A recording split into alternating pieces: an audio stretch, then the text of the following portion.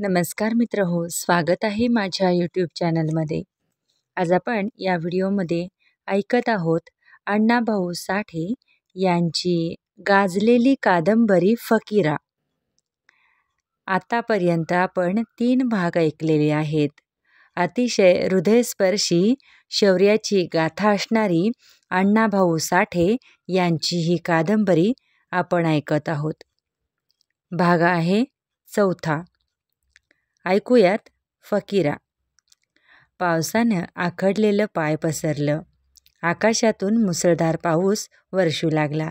विजेचा लखलखाटनी मेघांचा गडगडाट यानं सृष्टी हादरली. बियांचे कण मातीत रुजले आणि लहान अंकुर वर आले. हळूहळू काळी वावरं हिरव्या शालीत गेली. एक न्यारी सृष्टी अवतरली नवा सुगंध दरवळू लागला एक नवी ऊब दुनियेला आली. माणसांच्या आशा नजरेच्या आटोक्यात आल्या. पाऊस गेला आणि सुगी आली. पावसाच्या तडाख्यातून मुक्त झालेलं ऊन नवनवं भासू लागलं. दमट जमीन उसासे घेऊ लागली. आकाश निरभ्र झालं. निळ्या आसमानात चपळ पाखरं बिरबिरणे बिरबिरणीस लागली. शिवारात सुगीची हातघाई सुरू झाली. दौलती रानात फिरू लागला काढणी मोडणी खळी ढुंडाळू लागला. त्याला पाहून राणोजीची आठवण होऊन गावकरी त्याच्यापुढं कणसाची रास लोटू लागले. गावानं हात सैल सोडल्यानं दौलतीचं घर भरू लागलं. राही दोन शेळ्या घेऊन निवडुंगात फिरू लागली. फकीरा साधू यांना दूध मिळावं म्हणून ती खटपट करीत होती. ती पोरही आजीला मदत करीत होती. दौलती पंढरीला जाऊन आला. गबऱ्यासाठी फकीरा रडतो म्हणून येताना एक पांढरं शुभ्र शिंगरू आणलं होतं. त्याला फकीरा एक एक मोठ गवत आणून घालीत होता.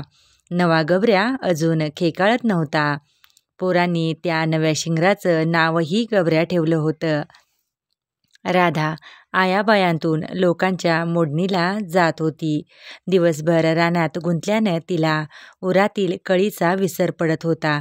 म्हणून ती सारखं काही ना काही काम करीत होती. कुंकवाशिवाय सारं आयुष्य कंठण्याची भयंकर जबाबदारी तिच्या शिरावर पडली होती.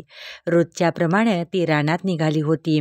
बरोबरीच्या बाया पुढं गेल्या होत्या. पोरं राहीबरोबर माळाला गेली होती. दौलती शिवारात गेला होता आणि राधा डोक्यावर पाटी घेऊन चौगुल्याच्या शेताकडं लगबगीनं निघाली होती. मागं पुढं कोण नव्हतं. आता ती दोन पोरं आणि स्वतःचा देह याची काळजी घेत होती. कारण अजून तिच्या देहातली तरुणपणाची ताण नमली नव्हती. पुढं एक गाडी आली ती कोणाची असेल बरं? असा एक विचार तिच्या डोक्यात येऊन गेला. गाडी ओढ्यातून वर येऊन गाडी मार्गानं गावाकडे येऊ लागली. धुंद बैल डुलत येत होतं. राधा बाजूनं चपापून पुढं जात होती. गाडी जवळ आली आणि ती चमकली. गाडी पाटलाची. एकदम कासरं ओढून पाटील म्हणाला राधा कुठं? मोडणीला? कुणाच्या? चौगुल्याच्या? चल माग चल माग. असं म्हणून त्यानं बैलाला चमकावलं आणि गाडी चालू लागली. राधा आपोआप गाडी मागून परत निघाली. चिंचेखाली येईपर्यंत शंकररावानं एकदाही मागं वळून बघितलं नाही. चिंचेखाली गाडी करकरली नि थांबली. राधा ही गपकन उभी राहिली. ती नुसती पाहतच राहिली पाटील म्हणाला दौलती आहे का घरात? शिंगरू रानात नेण्यासाठी परत आलेला दौलती पुढं आला. पाटील राधा यांना पाहून तो एकदम तरातरा पुढं येऊन म्हणाला मी आताच सोनाटकीतनं परत आलो आहे शिंगरू न्यायला. ठीक दौलती पण हे बरं नाही पाटील गंभीर चेहरा करून म्हणाला. राधा मजुरी करत आहे हे जर कळालं तर तो राणवजी परत खाली येऊन माझं शिर मारील. हिला रोजगाराला कधीच पाठवू नको. तुला दाणे हवेत? हे घे असं म्हणून पाटील गाडीतील दाण्यांची पोती खाली लोटू लागला. एक दोन तीन. ही सारी गाडी इथं रिकामी करतो की काय असं वाटून दौलती म्हणाला. गावकर पुरं पुरं. पुरं? एक ऐक राधाला कष्ट देऊ नको. तिच्या कुंकवानं डोंगरा एवढं कु कष्ट भोगलं. आणि ते माझ्याच शब्दावर भोगलं. मी पाटील मी आपल्या गावच्या जत्रेत मिरवावं इथं या पांढरीत जत्रा भरावी गावावर उपकार करावा म्हणून तो दोन पोरं आणि ही राधा मागं टाकून गेला. त्याच्या या त्या उपकाराची फेड जर अशी झाली तर आम्ही सारे नरकात जाऊ जे पेरावं ते उगवतं. पाटील असं कसं म्हणता? बरोबर म्हणत आहे मी. दाण्याची पोती देणं आणि शिर कापून घेणं याची बरोबरी करता येणार नाही. दाणं शेतात पिकतात शिर पिकत नाहीत दौलती. खोताची झटून झगडत ज्याचं प्राण दिला त्याची ही अब्रू आहे ही जगाच्या मोलाची आहे.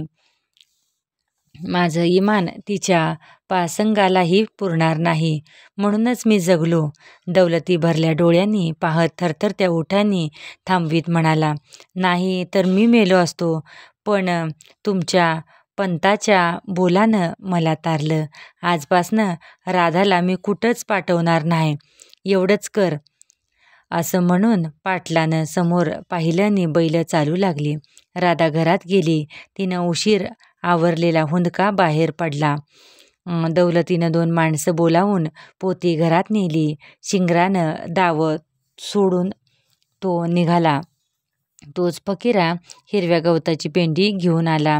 दौलती घोडं घेऊन निघालेला पाहून तो दरडावून म्हणाला ए म्हाताऱ्या कुठं गेला होतास आणि कुठं नेतोयस त्याला? रानात चरायला का? नक घरातच. बरं हाय ते. अरे पर का चाराय का नक? नक तो गबऱ्या आबानं शिगावला नेऊन मारला आणि तू ह्या गबऱ्याला रानात नेऊन मारशील. काय नियम नाही बघ तुझा. हे ऐकून दौलती गालात हसला. हसऱ्या नजरेनं पाहतो म्हणाला खरं हाय तुझं. सांभाळा आपल्या गबऱ्या. मी जातो रानात. असं म्हणून तो गेला. राधानं फकीराला हाक मारली आणि विचारलं आज्याबर का मांडलास त्यो गोबऱ्याला रानात नेत नव्हता? म्हणून काय झालं? काय बिघडलं? अगं म्या थट्टा केली त्याची. म्हाताऱ्या माणसाची थट्टा अशी करू नये असं म्हणून ती हसली आणि पटकन त्याला तिनं कडेवर घेतलं. तो दहा वर्षाचा बांदे सुद उंच फकीरा आपल्या आईच्या काखेत बसला. तेव्हा त्याला गगन गिड्ड वाटलं परंतु लगेच त्याला बापाची आठवण झाली. आई काय? आबाला खोतानं मारलं? हो मारलं. आपला गबऱ्या मोठा झाला की मी खोताला मारेन. तोवर त्यो म्हातारा होईल. तिनं त्याला घरात नेलं आणि साधू आला. साधू अंगाने गुबगुबीत असून त्याचे गालही गुबगुबीत होते. तो कमी बोले. दुपार झाली. भाकरी खाऊन फकीरा व साधू घराबाहेर पडले. राधा कामात गुंतली. सूर्य डोकीवर आला. सावल्या पायात घोटाळू लागल्या. हिरवं शिवार उन्हाच्या मुलामानं सोन्यासारखं दिसू लागलं. ते सोनेरी खोरं मनाला भुरळ घालून गेलं. चिंचेखाली फकीरा आणि साधू यांनी खेळ मांडला. फकीरा म्हणाला आपण कुरघुडी खेळूया? खेळूया. साधूनं मुंडीनं होकार दर्शवला. फकीरा चिंचेच्या बुडक्याआड गेला आणि दोन मुठी झाकून पुन्हा परत आला. एकीत शेळीची लेंडी नि दुसरीत चिंचोका होता. त्या दोन मुठी साधूनं पुढं केल्या व म्हणाला लेंडी का चिंचुका? चिंचुका साधूनं फकीराची डावी मूठ धरली आणि त्यानं ती पटकन उघडली आणि तो आनंद ओ आनंदून ओरडला लेंडी हा बघ चिंचोका असं म्हणून त्यानं उजवी मूठ उघडून चिंचोका दाखवला.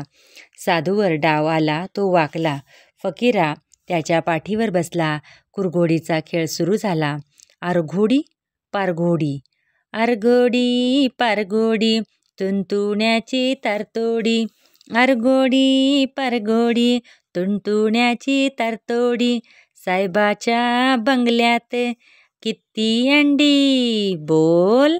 असं म्हणून फकीरानं साधूच्या पाठीवर बसून आपल्या उजव्या हाताच्या हाताची तीन बोटं सरळ धरली आणि साधू खाली वाकून तिरपडत फकीराचा भार आवरत म्हणाला पाच पाच पाच. फकीरानं खाली उतरून त्याला ती तीन बोट दाखवली.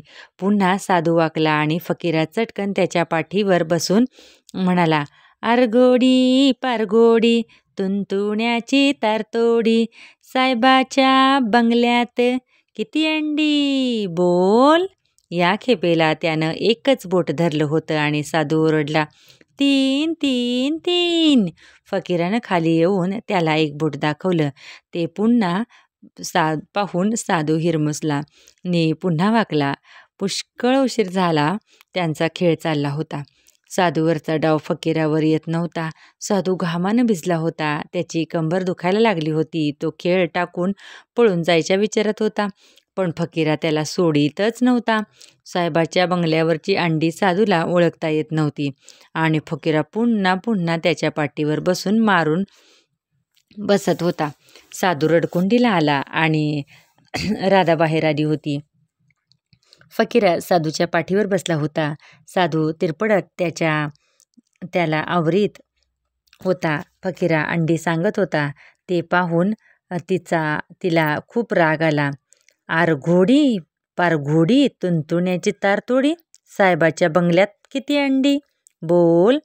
फकीरानं चार बोट धरली आणि मेहटा कुटीला आलेला साधू म्हणाला सात सात. राधा पुढं येऊन रागात म्हणाली फकीरा त्याला बोट किती? हे कळना. आणि तो साहेबातल्या बंगल्यातली अंडी र कशी सांगणार? दिवसभर त्याच्या पाठीवर बसून तू का त्याला मारणार? बरं. बरं की घामानं उपळून निघालाय.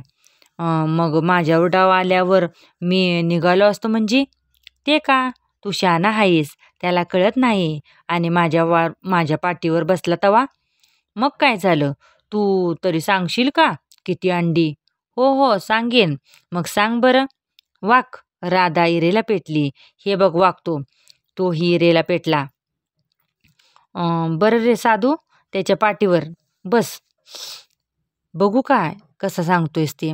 राधा म्हणाली. फकीरा खाली उतरून वाकला आणि साधू त्याच्या पाठीवर बसला. मग तोही म्हणाला आलघोडी पालघोडी तुंतुण्याची तालतोली. साहेबाच्या बंगल्यात किती अंडी? बोल. असं म्हणून त्यानं बोट उंच धरली तेव्हा फकीराची नजर भुईवर होती. साधूच्या हाताची सावली त्याच्या पुढ्यात पडली होती. त्यानं किती बोटं धरली आहेत हे फकीराला दिसत होतं. तो पटकन म्हणाला दोन दोन. उतर खाली. राधाला नवल वाटलं. तिनं साधूला ओढून पोटाशी धरलं. ती म्हणाली नको रे बाबा असला खेळ. तू मोठा धोरणी आहेस. मग माझा डाव दे की. नाही डाव आता. नाही माझा डाव दिलाच पाहिजे. नक तो रडकुंडीला आलाय. नाही माझा डाव. फकीरा संतापला. त्याचे डोळे भरून आले. आई आपल्यावर अन्याय करून साधूला वाचवीत आहे याची त्याला चीड आली. तो पाय आपटून म्हणाला आई माझा डाव. ती गरकन फिरली फकीरा रडत होता. साधूला खाली ठेवून ती मटकन खाली बसली आणि फकीराला पाठीवर घेऊन म्हणाली मी तुझा डाव देते बस. ती तशीच त्याला घेऊन घराकडे दारात जाऊन उभा होता. पश्चिमेला सात दऱ्यांच्या डोंगरावर किरणांचा झगमगाट आला होता. सूर्याच्या खाली तपकिरी रंगाचा एक प्रचंड ढग पसरला होता. त्या ढगात गालिच्यावर बसल्यागत सूर्य दिसत होता. डोंगरातील किर्र झाडीनं शिरण्याची अंग आवळून घेतलं होतं. दिवसभर शिवारात गेलेली माणसं परतत होती. गुरं हंबरत होती. बैल दिडक्या मोडीत पांदीनं चालले होते. गावाचे कष्ट जणू फळाला आले होते. राधा चालीपुढं स्वयंपाक गुंतली होती. साधू फाटक्या मोडीत काटक्या चुलीत घालू लागला. रुस रुसका चेहरा करून फकिरा कोपऱ्यात पाहत होता. राहीबाई शेरडं घेऊन आली होती. राधा साधूशी बोलत होती तू आपल्या आजोबासारखा आहेस आणि ह्यो फकीरा आपल्या वडिलावानी हाय. आजोबा म्हणत आम्ही तलवार घेऊन भीक मागून वनात जगवली. जमात. ते ऐकून तुझं वडील हसत. खरं म्हणजे त्यांना रागात रागच येई पण हसून दाखवीत. आमच्या आबाला शिव्या देऊ नका. फकीरा रडक्या आवाजात गुरगुरला आणि राधा हसली. ती काहीतरी बोलणार तो राहीबाई म्हणाली. फकीरा ती का शिव्या देतीया किती आ आगर आहेस तू? आमच्या आबाचं नाव का काढतीया? मग काय झालं? सारखी धुसफूस करू नये असं म्हणून ती राधाला म्हणाली. बाई तू बी त्याला चिडवू नक.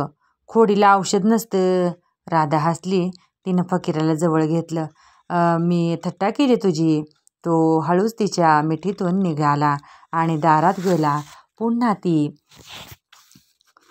स्वयंपाकात दंग झाली. एवढ्यात दौलती आला. चूळ भरून त्यानं पाय सरळ केले आणि विचारलं फकीरा कुठं आहे बाहेर गेलाय मगा. राई उत्तरली. दौलती घरातून हाका मारू लागला पण फकीरा आला नाही.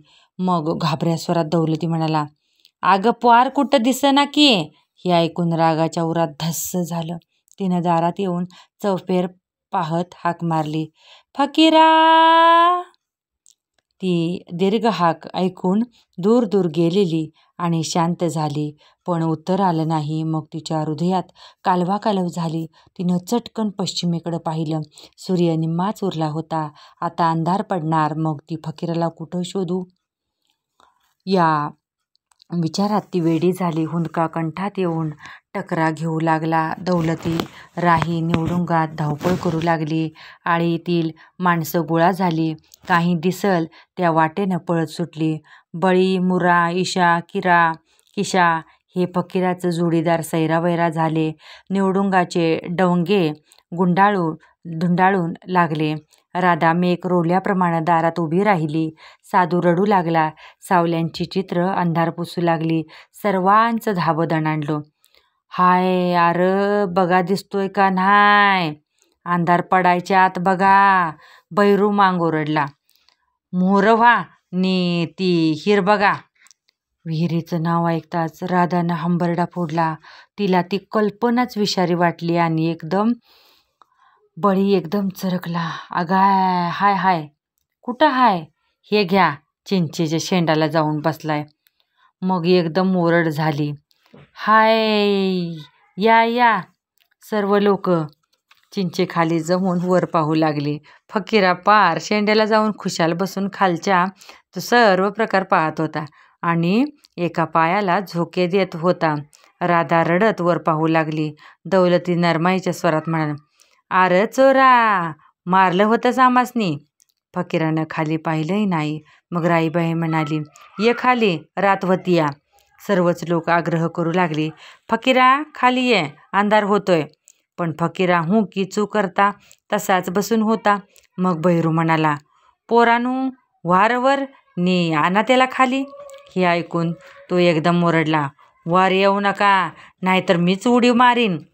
फकीराच्या या दरडावणीनं सर्वांची पाचावर धारण बसली. त्यांच्या तोंडानंच पाणीच पळालं. राधानं डोईवरचा पदर ओढून तो त्या वाटेवर पसरला. मी पदर पसरते पाया पडते तू खाली ये दौलतीनं गुडघे टेकून म्हटलं. उडी टाकू न ग फकीरा. बाब्या ये ये. राईबाईच्या पाहता पायातनं कापरं भरलं पण तो शांतपणे खाली आला आणि राधानं त्याच्यावर झेप घेतली. त्याला पोटाशी धरून ती रडू लागली. सर्वांचा जीव सुळावरून उतरला आणि कडूसं पडलं. भैरू म्हणाला त्याला काही म्हणू नका. तरीही दौलती म्हणाला फकीरा असं का? आमासनी मारू नक. आई मला वाईट म्हणतीया. फकीरा फुसफुसला ती खुळी आहे आता तुला वाईट म्हणाल त्याचं डोसकंच फोडतो. मात्र तू डोसकं फिरून घेऊ नकोस. मग कोणीच काही बोलत नाही. प्रत्येक माणूस मग फकीराला जपून बोलू लागला. राधाला तर जन्माची अद्दलच घडली. हिवाळा आला नि गेला मग उन्हाळा आला. चैत्राचं चावरं ऊन ढगू दगदगू लागलं. ते पोलादाच्या रसाप्रमाणे ओसंडू लागलं. निळ्या तसलम तलम वस्त्रांचा रंग आकाशाला आला. चैत्र पालवीनं झाडं नटली. नवे मुगारे लुसलुसू लागले. तारुण्यात विद्रुपताही फिकी पडते. तद्वत झालं. काट्या काट्या काट्याबोरांबूनही बहर आला. नव्या फण्या येऊन निवडुंगाची मान अधिकच उंचावली. टचटचीत लालबोंड डोळ्यात भरू लागली. फण्यांचे काटे सणसणू लागले. मांगवाड्यात मोठी धडपड सुरू झाली. आपापल्या दारात मांगांनी वाख लावून चराट वळायचं काम सुरू केलं होतं.